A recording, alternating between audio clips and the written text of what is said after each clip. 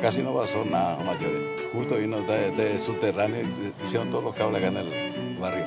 Uno tiene que venir a ver a la noche, cuando todos los faroles acá del barrio se prenden. Hicieron rápido. Yo estoy contenta con el cableado porque no es que tenemos problemas, porque el cable está por debajo. El tema de la luz no fue solo en Loma San Jerónimo, fue en todas partes y un desastre. Gracias a Dios en Loma San Jerónimo nada de, de tragedia, te voy a decir, que voló, que se rompió, que se cayó. Pero acá el problema de la luz es nuestro, los alimentadores grandes, que ya son, yo tengo 65 años y esa es tener 400 años, digo yo, porque y se, y se descompuso este y le afecta a este. Claro, nunca se cambia.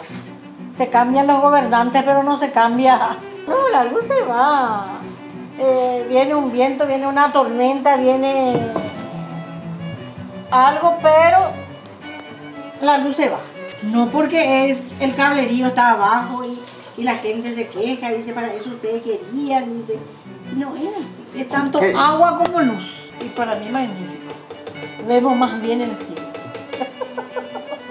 Claro, como toda obra, como todo trabajo, siempre causa siempre un pequeño inconveniente, ¿verdad? Polvo, el polvo llegaba hasta acá, o la casa no podía tener limpia una hora. Siempre en su tiempo, porque hay cosas que se hacen y ya sea por la inclemencia del tiempo, ya sea por algún motivo, siempre para y se alarga las cosas, ¿verdad? Cosas que no vamos a remediar, tenemos que quedarnos en el molde y esperar que esté todo, porque esto trae también mucho beneficio al barrio.